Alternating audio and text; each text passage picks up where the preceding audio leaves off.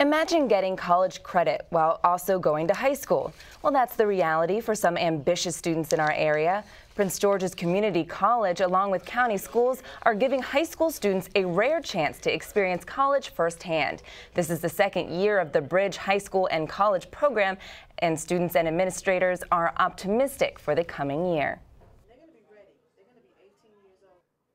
I'm really excited for the second year because my first year, it was a learning experience because that's your first time having college professors, college teachers. So that was really cool to get to know them and learn how it how things go in college. Because mm-hmm. I mean, you went from middle school to kind of you jump to kind of college, high school. It's in the middle, and um, i would like to be a pediatrician, so I'm kind of in the medical field. Mm-hmm. So this school is really this school is really um, it's like a really good foundation to where I want to go.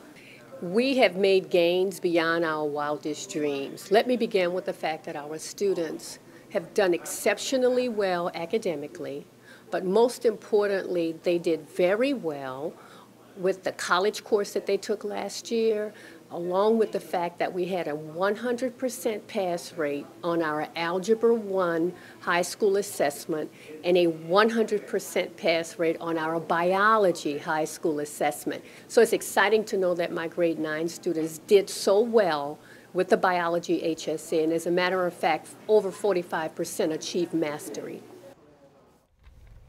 At the end of four years, students will earn both their high school diploma and a total of 67 college credits.